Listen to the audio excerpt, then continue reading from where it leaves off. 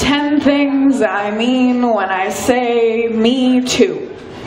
Number one, cat called at the age of eight because 40 year old men thought it appropriate to hit on little kids. Number two, wandering hands of older men grazing my ass for a little too long to be accidental. Number three, my aunt told me I looked like a slut seven, wore a bandana as a shirt, sexualized body before I knew what sex was. Number four, as my body grew, younger eyes wandered. Suddenly I was walking boobs and ass. Number five, no, I don't want your number. No, I don't want to give you mine. No. Leaning out the passenger side of your best friend's ride,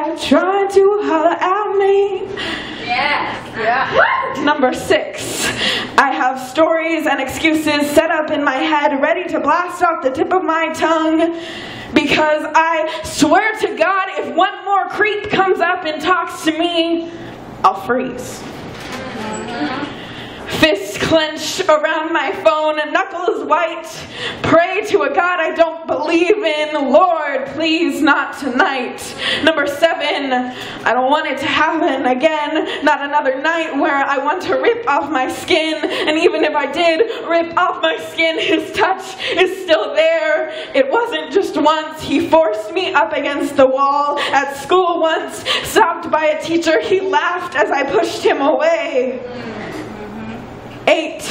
I said no, he must have mistook it for go ahead. Nine, he was my best friend. Ten, nobody else ha- should have this type of best friend. Thank